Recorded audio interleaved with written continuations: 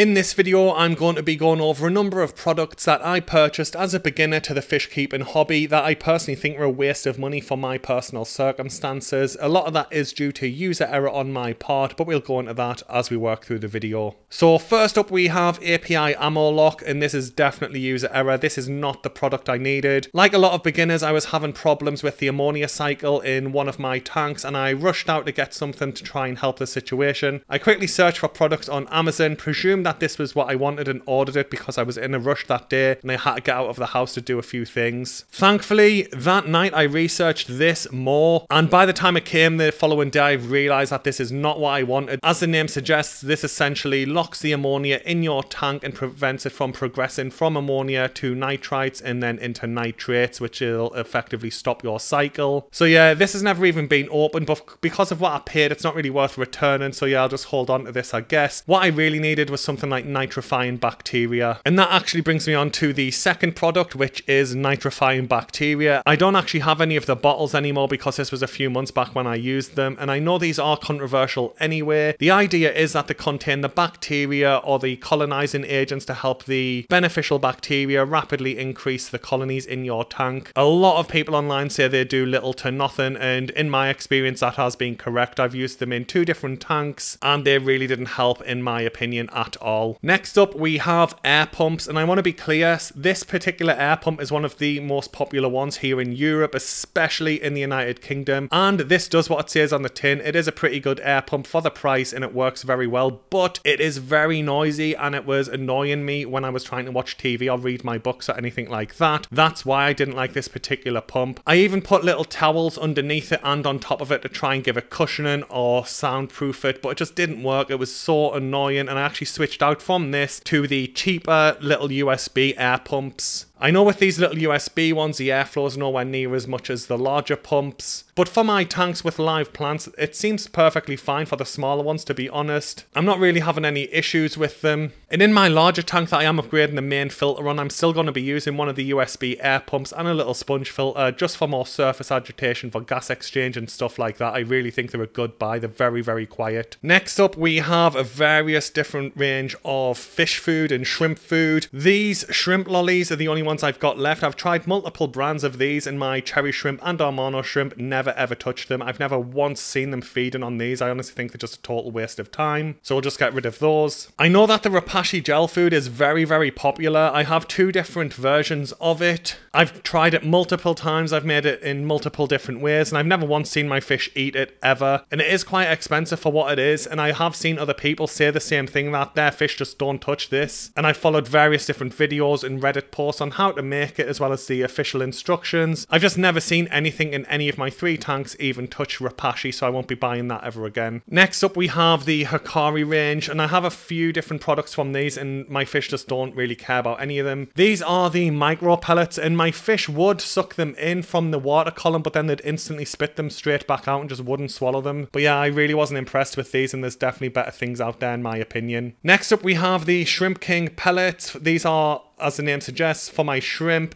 My cherry shrimp and Amano shrimp did eat these. I go into this in more detail in my dedicated video where I review this. I link that in the card and description as well. In the UK, these are so expensive. It's just not worth the money. There's different British brands out there that are so much cheaper. And I mean, these are more than double the price of the same product on the mainland or in the United States. I don't know why they're so expensive in the UK. I did see people on Reddit say it's because of Brexit, but that's not true. We can get Aquael tanks from Poland or other products from other places in Europe, as well as the live plants from Dennerle as well, who make this. They're the exact same price as every other country. For some reason, it's just this specific product is ridiculously expensive here in the UK, and I don't think it's worth the money at its current prices. And then next up, we have Bug Bites, and I absolutely love Bug Bites, and my fish definitely love Bug Bites, but specifically the granule version, and these are the flakes. None of my fish touch the flake version of Bug Bites at all, and I've tried it with Tetras, Bettas, Gourami, Corydoras, but that was a little bit of a pain to get it to sink, Chili Rasboras, and Guppies, and not one of them would actively and consistently eat these, whereas the actual granule formula of Bug Bites, they absolutely wolf it down, they love it. So yeah, this is going to go out of date uh, within a few months anyway, and I won't be buying the flakes again. I'm not slating Bug Bites as a brand, their granule formula is amazing, all my fish love it, and so do my shrimp. Next up, we have test strips, and I would argue these do have their place if you don't have the budget for the freshwater master test kit from API, which is what I currently use. But you can literally take multiple ones of these test them in the exact same water, leave them for the exact same time period, and you get different results. These are very, very inaccurate, both the ammonia ones and the normal ones that do the other water parameters. So if you do need to use these for budget reasons, then maybe get three or four of them, test them all in the same water at the same time, and then work out an average of what is suggested. But yeah, in my opinion, these are very, very inaccurate, and I upgraded to the API Master Test Kit. It is more consistent. I've done testing with that. With the test tubes, putting the chemicals in at the same time, and it's usually very similar, whereas these can be very different in my experience. So yeah, I won't be using test strips again. Next up is the liquid fertilizers that I've used, and I have used a few different ones. API Leaf Zone is a very, very popular product, at least here in the UK, but a lot of people say it doesn't have the micronutrients or most of the macronutrients that you need for healthy live plants. I did move from this to the Tropica nutrition range. I really do like that, especially the specialist nutrition one. I think it's a very good product, and my live plants are thriving in all three tanks now. But with this, there's a lot of different opinions out there. You can do your own research. Personally, I will be sticking to the Tropica range moving forward. I've got no plans to get the API one ever again. So the next one is API's pH down, and again, this one's another user error. I didn't really know what I needed, and this was definitely not the product. The idea was I wanted to lower my pH levels because of what I saw other people on YouTube say before I set my original shrimp tank up. Not knowing that substrates like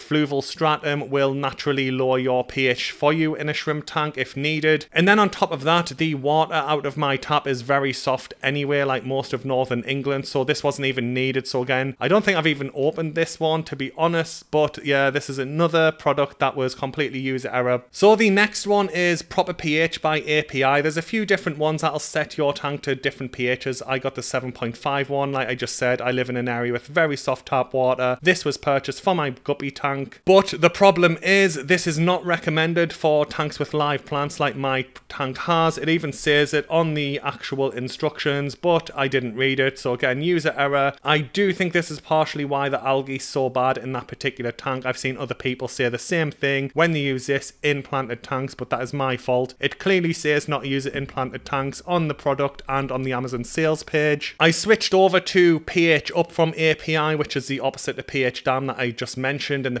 previous featured product, which can be used in a live planted tank. So I am using that in my guppy tank now. So hopefully that'll help me get the algae under control. But yeah, this was definitely purchased by mistake and it was my fault, but I won't be buying this again. I have moved over to API pH up. So yeah, that brings the video to an end. Hopefully it was helpful. Hopefully my mistakes have helped you and you won't waste the money I did. Thanks for watching guys and have a good day.